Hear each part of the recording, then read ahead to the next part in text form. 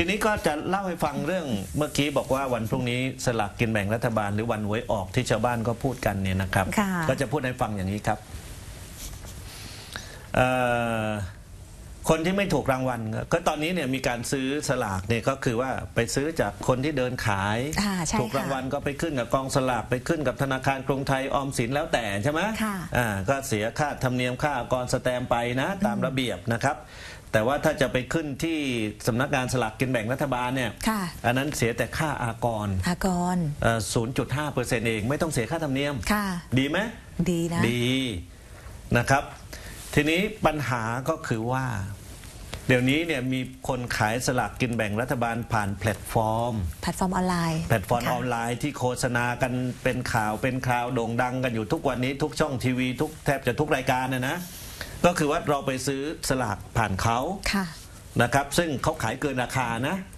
แล้วมีปัญหาที่เขาเคยไปจับมาก่อนหน้านี้ แล้วเป็นความคดีกันอยู่ในศาลตอนนี้ค่ะ นะครับเขาบอกว่าเขาเนี่ย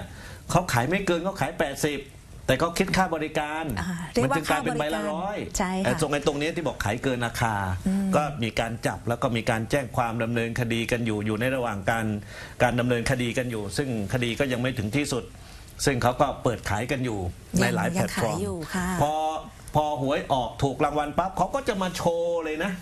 เอ่อบอกว่าน้องจิมมี่ถูกรางวัลที่หนึ่งสิบสองใบได้เงินเท่านี้ล้านสิบสองห้าหกสิบสองหกเจ็ดเจ็ดสิบสองล้านสิบสองใบเนาะค่ะเอ่อใบละหกล้านเนี้ยค่ะนะคุณจิมมี่ถูกรางวัลแล้วเอาเงินเป็นฟ่อนเลยมากองให้เห็นเลยนะ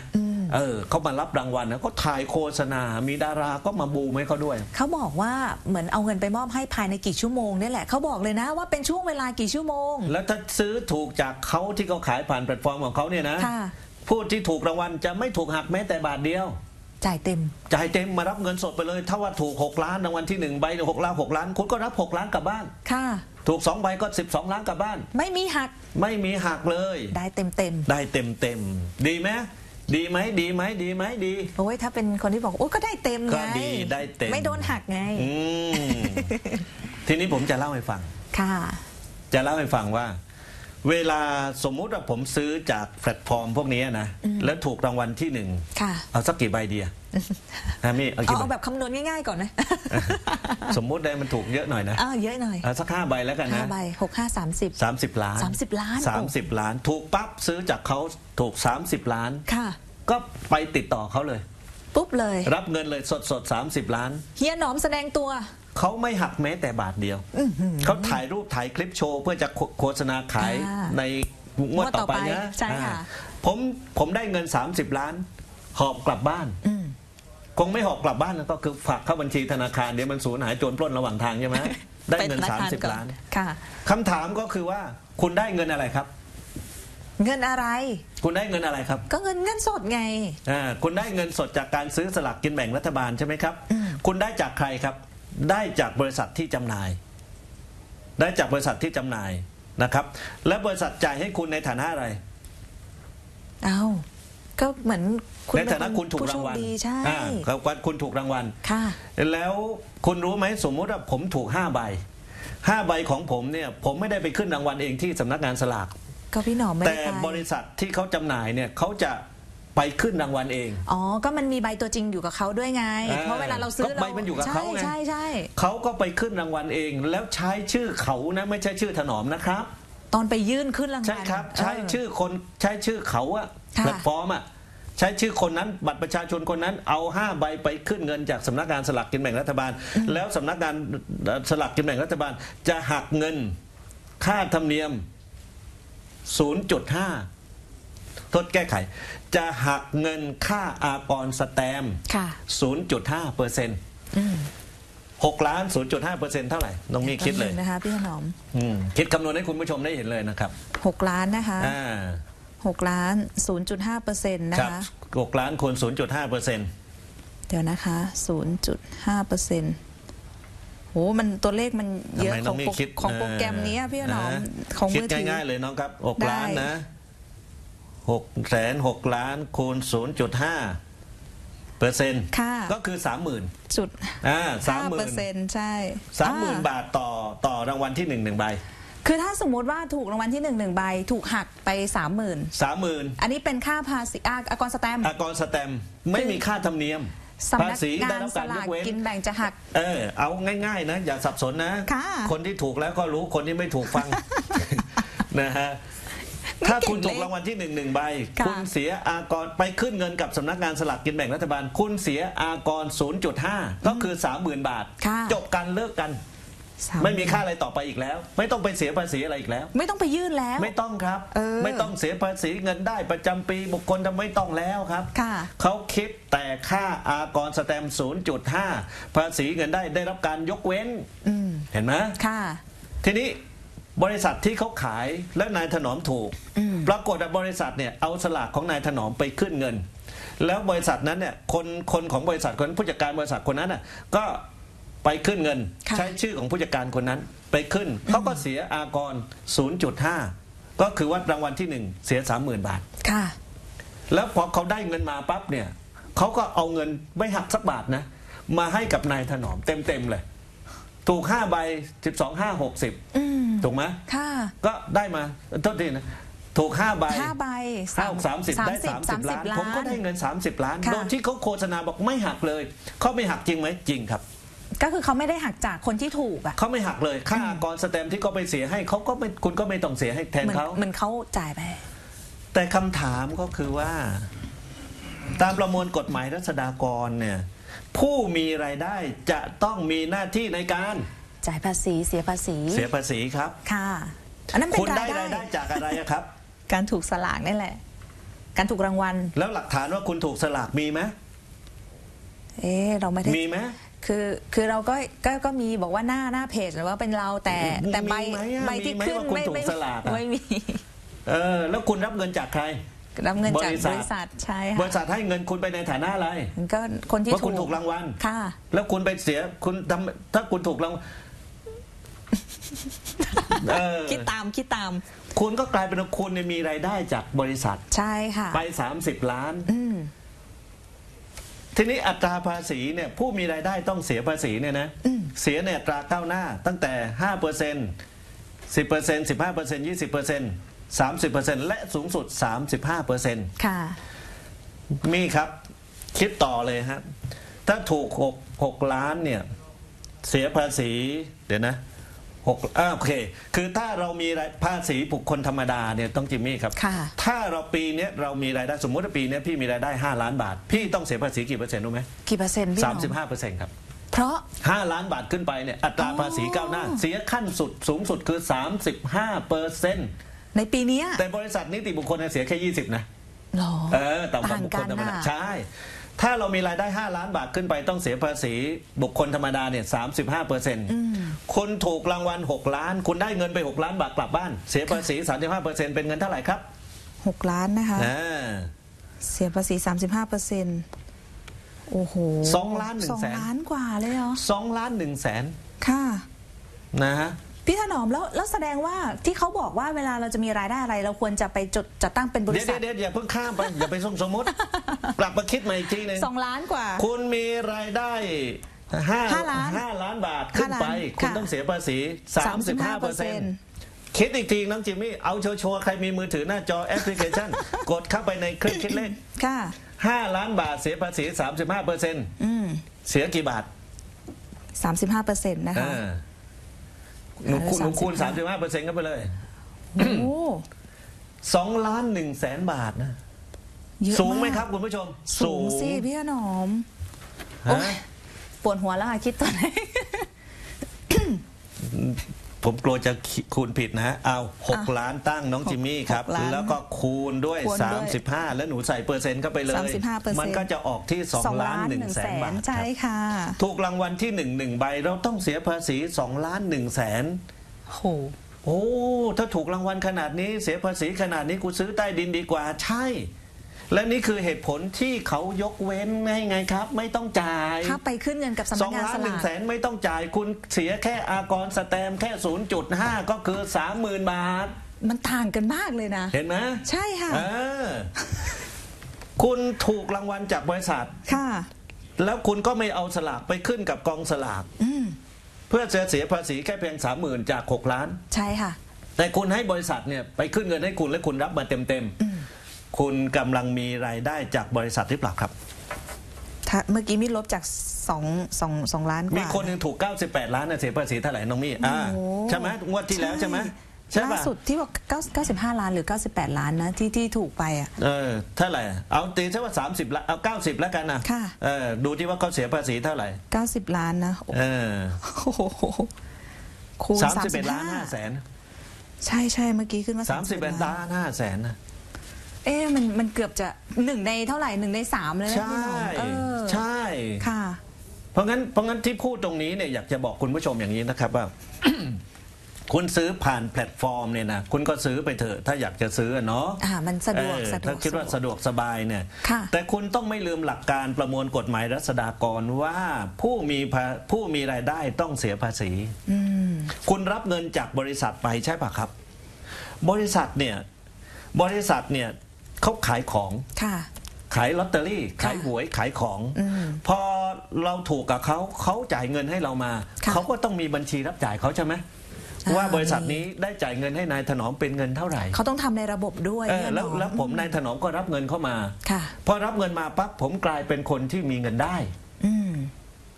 คือทั้งที่เป็นบุคคลธรรมดานะทั้งที่เป็นบุคคลธรรมดาเนี่ยค่ะกลายเป็นมีเงินได้ ตรงนี้คุณจะถูกประเมินภาษีรัษฎากรในฐานะผู้มีเงินได้ หรือไม่ผมตั้งเครื่องหมายคำถามไว้เป็นเครื่องหมายคำถาม ทีนี้บางคนบอกว่าอ้าวแล้วสรรพากรจะรู้ได้ไง ก็ทุกครั้งที่ที่ที่เขาไปซื้อแล้วไปถูก เขาก็ไลฟ์สดทุกทีใช่ไหมก็มีการว่าชื่ออะไรนามสกุลอะไรรูปหน้าเป็นยังไงใครเป็นใครใช่ไหมไปถูกรางวัลใช่ไหมใช่ค่ะพี่หนออ่ามเหมือนเป็นเป็นเป็นเป็นแบบแอมบาสเดอร์ให้เขาด้วยใช่ไหมเหมือนพเห็รีนเซไหมนเตอร์ไปในตัวเพ ราะฉะนั้นใครที่ถูกไปแล้วเนี่ยตอนนี้คงจะอยู่ไม่สุขละมั้งที่ผมเล่าให้ฟัง แล้วผมเล่าให้ฟังตอนนี้เพื่อจะได้รู้ตัวก่อนอืมว่าผู้มีรายได้ต้องเสียภาษี คุณมีใช่รายได้ค่ะจากบริษัทอืมคุณมีรายได้จากบริษัทได้จากอะไรได้จากการซื้อสลาก ถ้าได้จากการซื้อสลาก แล้วคุณไปขึ้นที่สลากไหมคุณก็ไม่ได้ไปขึ้นไม่ได้ไปขึ้นแล้วคนที่ไปขึ้นคือใคร ก็คือบริษัทไปขึ้นใช่ค่ะบริษัทไปขึ้นเขาใช้บัตรของเขา แล้วก็ได้หักค่าธรรมเนียม ค่าธรรมเนียมก็ไม่ต้องจ่ายจ่ายแต่ค่าอากรแค่0.5เปอร์เซ็นต์แล้วเขาก็มาจ่ายให้คุณเต็มอืมปัญหานี้ฝากให้คุณผู้ชมได้คิดนะครับ เพราะฉะนั้นเพื่อที่จะตัดปัญหาทั้งปวง ตัดปัญหาทั้งปวงนะ ว่าถ้าคุณซื้อจากใครก็ตามเนี่ยนะ แล้วคุณถูกรางวัล คุณเอาลอตเตอรี่ไปขึ้นกับสำนักงานสลากกินแบ่งรัฐบาลโดยตรง คุณจะเสียแค่อาค่าอากรสแตมป์แค่ 0.5 ค่ะละ6ล้านเนี่ยเสียแค่ 30,000 บาท แล้วไม่ต้องเสียภาษีเงินได้ใด ๆ อีกต่อไปแล้วและไม่ต้องยืนแบบภาษีเงินได้บุคคลธรรมดาประจำปีด้วย ค่ะคุณจะได้รับการยกเว้น แต่ถ้าคุณไปรับเงินจากบริษัทที่ขายลอตเตอรี่ แล้วคุณรับมาโดยที่เขาไม่หักสักบาทหนึ่งไม่หักอากรไม่หักภาษีอะไรคุณเลยเนี่ยนะ คุณอาจจะถูกประเมินภาษีรัษฎากรย้อนหลัง ค่ะ โอเคไหม โอเคไหมอย่าบอกว่าหนอมเอาความลับมาบอกนะ แต่ต้องบอกให้ฟังว่า ผู้มีรายได้หลักการของของรัษฎากรก็คืออผู้มีรายได้ต้องเสียภาษีค่ะ ประการต่อมาก็มีคนถามว่า แล้วแพลตฟอร์มเหล่านี้เอาสลากที่ไหนมาขาย เพราะว่าในเมื่เยออะมากเลยนะในคือถ้าระบบขาย 80เขาไม่ว่า จ้ะ ถ้าขาย 80เขาไม่ว่าไม่จับ ค่ะ แต่ถามว่าคุณขายเกิน 80ไหมก็ขายเกิน อ้างว่าขายไม่เกิน 80 ที่เหลืออีกบวก20 เป็นค่าบริการค่าบริการ แต่สุดท้ายก็คือการขายเกินคือขายเกินเสร็จปั๊บเนี่ยทีนี้ถามว่าแล้วเขาเขาได้สลากมาจากสำนักงานสลากกินแบ่งรัฐบาลไหมก็ไม่ได้ เพราะเขาไม่ได้โควต้าจากสำนักงานสลาก แล้วเขาเอาสลากที่ไหนมาขายผ่านแพลตฟอร์ม ค่ะ เป็นคำถามโตๆเลยนะเออ คำตอบก็คือว่าก็มีคนที่ได้โควต้าจากสำนักงานสลากกินแบ่งรัฐบาลเนี่ยได้มาห้าเล่มห้าเล่มห้าเล่มหรือกี่เล่มก็แล้วแต่ แล้วก็ไม่ตั้งแผงขายตามสัญญากับสำนักงานสลากว่า คุณได้มาห้าเล่มคุณต้องตั้งแผงขายแบบนี้นะอืมและขายต้องไม่เกินราคาด้วยนะค่ะต้องเ80 บาทนะ คุณไม่สามารถจะเอาทั้งห้าเล่มที่ได้เนี่ยไปขายกับบริษัทใดบริษัทหนึ่งอืมโดยที่คุณไม่ขายเลยค่ะจริงๆ เงื่อนไขบอกชัดเจนนะชัดเจน ถ้าคุณเอาเล่มของคุณทั้งหมดไปขายให้กับ คนอื่น โดยที่คุณไม่ได้ค้าจริง ๆ เนี่ยค่ะ คุณจะถูกตัดโควต้าคำถามก็คือว่าก็ในเมื่อมีคนเอาโควต้าที่ได้จากสำนักงานสลากและไปขายกับแพลตฟอร์มทั้งหลาย แล้วทำไมสำนักงานสลากกินแบ่งรัฐบาล จึงไม่ยกเลิกโควต้าของคนเหล่านี้ล่ะ นั่นน่ะสิคะ เออทำไมจึงไม่ยกเลิกล่ะคำตอบคืออะไรน้องจิมมี่รู้ไหม เพราะ เพราะแพลตฟอร์มเหล่านี้จะปิดบังเลขหมายไว้ครับ อ๋อเขาจะ โค้ดเลขรหัสปิดบังไว้ ค่ะ ให้ไม่รู้ว่า ซื้อมาจากใคร ซื้อต่อมาจากใครเล่มไหนคนมาไหน จากผู้ขายคนไหน ใช่ใช่เวลาเขาขึ้นก็จะบังเหมือนบังเขาปิดบังโค้ไว้หมดเลยครับค่ะเขาปิดบังไว้ บังโค้ดไว้อ่าปิดบังลายน้ำโค้ดไว้ อืม ทีนี้พอปิดบังโค้ดเนี่ยสำนักงานสลากที่เขาส่องดูอยู่เขาก็มองไม่เห็นว่าตรวจสอบยากไอ้ใบเนี้ยที่เขาเอามาขายผ่านแพลตฟอร์มออนไลน์เนี่ยค่ะ เป็นของผู้ผู้ที่ขายได้ที่ได้โคโควต้าต้าจริงหรือเปล่าเออ ที่ จะต้องถูกยกเลิกเนี่ยคือรายไหนก็ไม่รู้ค่ะพอไม่รู้สลากไม่รู้ก็ยกเลิกไม่ได้อืมแต่ถามว่าสลากจะโง่ไหมไม่เขาก็เลยตรวจสอบต่อไปว่า แล้วไอ้ที่มีคนถูกรางวัล แล้วเขามาขึ้นบริษัทมาขึ้นรางวัลเนี่ยค่ะมันจะต้องเห็นเลขแล้วใช่ไหมทีเนี้ยใช่ ยิ่งรางวัลใหญ่เอๆอะอเขาก็เห็นเลขแล้วสิเนี่ยพอเขาเห็นเลขเสร็จปั๊บเนี่ยเขาดูเลยนะ ถูกกันมากี่งวดจากจากเลขเนี้ยแล้วเขารู้ว่าใครเป็นเจ้าของโควต้าพอเขาเช็คปั๊บรู้ปุ๊บเขาตามมายกเลิกเลย คนที่ได้โควต้าแล้วไม่ขายเอง แล้วไปขายผ่านแพลตฟอร์มทั้งหลาย สลากเขาเก็บข้อมูลที่จะยกเลิกพวกคุณอยู่นะ ค่ะ ประเภทเสือนอนกินน่ะนะใช่เพราะคนว่าที่เขาอยากจะขายอยากจะได้คนพิการอยากได้สลากมาขายเนี่ยเขาแบบดิ้นรนตัวสายตัวแทบขาดก็ไม่ได้นะ ถามเรามาเยอะเหมือนกัน ก็ไปซื้อแพงๆแล้วก็มาขายแพงต่อ เพราะฉะนั้นถ้าคนยังได้โควต้าและยังไปขายแพลตฟอร์มให้กับแพลตฟอร์มทั้งหลาย ค่ะ สลากเขาจ้องดูอยู่ตอนเนี้ยนะครับ คุณขายตอนนี้คุณปิดบังตัวเลขเขาไม่รู้ แต่พอต่อถูกรางวัลเขาไปขึ้น ยังไงคุณต้องไปขึ้นพอขึ้นเขาเห็นค่ะเห็นเสร็จปั๊บเขาบันทึกข้อมูลปั๊บตามไปยกเลิกโควต้าอืมอย่าโอดครวญนะ เพราะคุณทำสัญญากับสำนักงานสลากกินแบ่งรัฐบาลไว้แล้ว ใช่ค่ะนะครับเพราะงั้นนี่ก็เป็นอีกวิธีหนึ่งที่กำลังมีการตรวจสอบกัน เพื่อที่จะไม่ให้เกิดปัญหาตามมากับกับใครอะกับการขายที่ ผิดกฎหมายค่ะนะครับ ก็ดูต่อไปนะครับคุณผู้ชมเดี๋ยวคืนนี้จะจำแหละในฟังชัดๆให้ฟังอีกค่ะทีหนึ่งนะครับ เพราะว่าเรื่องนี้สำคัญครับไม่งั้นเนี่ยปัญหาด้วยความโอ้ก็ผมไม่รู้อะครับ ไม่รู้ ฉันไม่รู้ว่าโดนภาษีย้อนหลังอะไม่คิดว่า เออไม่รู้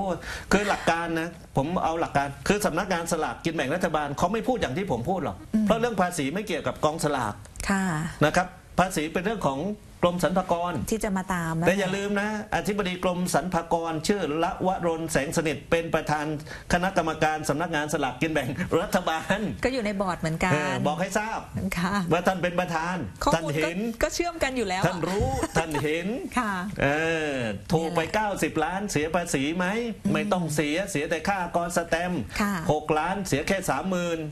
แต่ถ้าคุณไปรับเงินจากบริษัท ไม่รู้เงินอะไรอะอ่านั่นสิคะแล้วแล้วแล้วประเด็นต่อไปก็คือว่า เวลาเราจะไปทำธุรกรรมนี่ค่ะพี่หนอม ได้เงินมาเนี่ยถ้าเกิน 2 ล้านบาทขึ้นไปเนี่ยเขาบอกต้องรายงานธุรกรรมนั้นต่อต่อแล้วปอปองอ การเงินเหรอคะ เอาเงินถูกหวยมา ค่ะ ได้มา 30 ล้าน จะอยู่เฉยๆไม่ได้เหรอ ไปซื้อรถราคา 3 ล้าน เอ้า บริษัทที่ขายรถ จะต้องรายงานปปงในธุรกรรมว่าคนนี้เอาเงิน 3 ล้านมาซื้อรถนะมีเงินเข้าระบบไปอ่าเพราะตั้งแต่ 2 ล้านบาทขึ้นไปต้องรายงานนะ เอาไปซื้อที่ดิน 2 ล้านบาทขึ้นไป ต้องกรมที่ดินสำนักงานที่ดินต้องรายงานปปงนะอืม ถูกไหมค่ะเออหรือถ้าโอนผ่านธนาคารธนาคารต้องรายงานปปงนะ เป็นธุรกรรมที่ต้องรายงานนะ เพราะเขาต้องการแก้อะไรแก้ปัญหาการฟอกเงินอ่าใช่ใช่ค่ะเอาเงินผิดกฎหมายเอาเงินยาเสพติดมาทำแบบนี้แม้กระทั่งเรื่องการประมูลทะพอเบียนเขาสอบปั๊บเนี่ยรถพก็อหมืเขาสอบพอเขาดูเสร็จปั๊บอ้าวคนนี้แล้วได้เงินตรงทำไมได้สองล้านมาซื้อมาซื้อบ้านอะ ได้มาจากไหน ได้มาจากไหนอะอยู่ดีๆทำไมรู้สึกว่ารวยผิดปกติ เออ ไม่น่าจะมีเงินสองล้านนะ ค่ะหรือห้าล้านมาซื้อนะอืมอะเขาก็ตรวจ ค่ะ พอตรวจเสร็จปั๊บย้อนดูเส้นทางทางการเงินอ้าวได้มาจากบริษัทนี้อืมอ้าวคุณได้มาไงบอกถูกลักถูกรางวัลอ้าวถูกรางวัล ถูกรางวัลจะได้จากบริษัท ค่ะ แล้วเสียภาษียัง นะ มาถามนะคะสุดท้ายมันจะโดน คือไม่ผิดข้อหาฟอกเงินน่ะแต่จะโดนเรื่องภาษีมันเห็นเหมืไหมอนมันครับ มันล้อมกันอยู่เนาะพี่หนอมใช่เนาะผมพูดให้ฟังพูดให้คิดเสียก่อนนะว่า ปัญหานี้จะไม่เป็นปัญหาเลย ถ้าคุณถูกและคุณไปขึ้นกับกองสลากสำนักงานสลาก กับสำนักงานไอ้กองสลากนี่คือบริษัทชื่อเดี๋ยวนี้ใช่ ก็มีปัญหาเรื่องชื่อบริษัทอยู่นะ ต้องพูดให้ถูกนะ ถ้าคุณถูกคุณไปซื้อจากใครก็ตามผ่านแพลตฟอร์มไหนก็ตามคุณจะซื้อยังไงพอจะ แต่ถ้าคุณซื้อถูกแล้วปั๊บให้เอาใบ เอาใบที่ถูกกันนะ ค่ะ ไปขึ้นเงินกับสำนักงานสลากกินแบ่งรัฐบาล และเขาจะคิดค่าธรรมเนียมค่าอากรสแตมป์แค่ 0.5 รางวัลที่หนึ่งคุณเสียแค่ 30,000 ค่ะ แต่ถ้าคุณไปรับเงินผ่านบริษัทมาโดยที่เขาไม่หักคุณสักบาทหนึ่ง คุณอาจจะถูกประเมินภาษี เงินได้อืมเงินได้ซึ่งบุคคล ถ้ารายได้ตั้งแต่ 5 ล้านบาทขึ้นไป คุณต้องเสียภาษีถึง35เปอร์เซ็นต์ใช่ค่ะ โอเคไหมล่ะ แต่ถ้าสมมติว่าเกิน 2 ล้านถึง 5 ล้านเนี่ยก็ 30เปอร์เซ็นต์โอ้ก็ยังสูงนะพี่หนอมเนี่ยใช่ ไม่ดูตารางจากสัมภากรเนี่ยสามแสนกับคุณโดนโดนห้าเปอร์เซ็นต์น่ะ อะสามแสน เอ่อใช่ค่ะ แต่300,000 เกิน3ามแสนถึง5้าแสนนี่สิบเปอไม่ร์เซ็ถึนงต์ สามแสนไม่ต้องจ่ายค่ะภาษีแต่ถ้า3ามแสนขึ้นไปก็เริ่มจาก5ไป10 15 20 25 30แล้วก็สูงสุดคือ35ถูกไหม ค่ะใช่ เออสามสิบห้าค่ะพี่หนอมที่พูดมาทั้งหมดเนี่ยถ้าถูกไปขึ้นเงินเอง ค่ะ เสียแต่ค่าอากร ขอใบเข้ามาแต่ไปขึ้นถ้าเอไปง ถ้าต้องไปเอาใบใช่ไงไปเอาใบแล้วไอ้ขึ้นการเองไปดีกว่าเอาใบในยแก้ปัญหาอะไรรู้ไหมคะไอ้ที่คุณมาขายนะคุณมีใบขายจริงปะ มีใบจริงหรือเปล่า หรือคุณมีใบเดียวแต่คุณขายทุกคนเอาเคยมีประเด็นก่อนหน้านี้ไงไอ้นี้เขาเรียกว่าเอามาวนซ้ำแก้ปัญหาแพลตฟอร์มอ่าได้มีได้อยู่ตรวจใบสอบเดียวได้แต่ขายทุกคนอะค่ะ เพราะว่าเข้าไปในระบบไงมันเป็นภาพไง ใช่จิ้มมีใบเดียวขายทุกคนน่ะมันก็กลายเป็นคบขายหวยไงค่ะถูกไหมเขาก็เป็นเจ้ามืออีกเจ้าหนึ่งไงเหมือนไม่ได้จำกัดเลยนะ ใช่ ถ้าถูกแล้วเอาไปขึ้นเงินเองค่ะเพื่ออะไร เพื่อให้มัน เราไม่ต้องมีภาระภาษีในเวลาต่อมา ค่ะ ผมใช้คำว่าอาจจะถูกประเมินภาษี รัษฎากร ถ้าผมไม่แววมาผมไม่พูดเรื่องนี้หรอก คือมีแว่วๆมา โอ้โหแววดังระวังมากย้เลอยนนะหลังแล้วกันนะ ค่ะ ระวังย้อนหลังนะถ้าก็ย้อนหลังเนี่ยมันจะมีค่าปรับด้วยนะครับ ฝากถึงเศรษฐีใหม่ แล้วก็ล้มละลายเลยนะครับทีเนี้ยโอ้ใช่ครับพี่มันจะมีน้องเพราะภาษีถ้าพอเขาประเมินเสร็จปั๊บคุณไม่จ่ายเนี่ยพอเลยเวลาปั๊บมีค่าปรับ ค่ะ ค่าปรับเงินเพิ่ม อืมค่ะ โอเคนะ ปปงก็คือสำนักงานป้องกันและปราบปรามการฟอกเงินนั่นครับ เอง ตัวย่อปปง อันนี้อาจจะเป็นเรื่องของทุกข์ของคนที่มีสตังค์นะ จากการถูกลักถูกรางวัลนะโชคโอเคไหมคุณผู้ชมนะรายนี้เล่าให้ฟังนะ เดี๋ยวคืนนี้ซ้ำย้ำให้อีกทีหนึ่ง คืนนี้ฟังชัดๆถนอมจัดยังมีให้ประเด็นข้างเคียงอีกต่างหากค่ะนะครับงั้นเราต้องเข้าใจตามนี้ เพราะมีคนไปโวยว่าทำไมสำนักงานสลากไม่ทำอะไรเลย ปล่อยให้เขาขายแพงอยู่ได้เขาเอาสลากมาจากไหน แล้วทำไมไม่หักไม่ตัดยกเลิกไอ้คนที่เอาโควต้าไปขายแพลตฟอร์มทั้งหลายแล้วไปขายเกินราคาทำไมไม่ตัดเขาอืม เขาทำกันอย่างเป็นขั้นเป็นตอนอยู่ แต่เขาไม่กระตากกระโตกกระโตกกระตากกระตักกระเติกอันนี้เราบอกไว้ก่อนนะคะโอเคแล้วก็ในเพจสำนักงานสลากกินแบ่งประกาศนะคะประชาสัมพันธ์คุณผู้ชมสั้นๆค่ะ บอกว่าโครงการสลากดิจิทัล ขอให้ผู้สมัครเข้าร่วมโครงการสลากดิจิทัลนะคะเขาบอกลำดับไว้อยู่ อันนี้บอกคุณผู้ชมไปเลย 44,501 ถึง 47,000 เข้ามารายงานตัวเพื่อทำสัญญาเป็นตัวแทนจำหน่ายสลากนะคะณห้องประชุมชั้น 2 อาคารออกรางวัลสำนักงานสลากกินแบ่งในวันที่ 20ถึง21ธันวาคมนี้นะคะ ไปครับตามข้อมูลนะ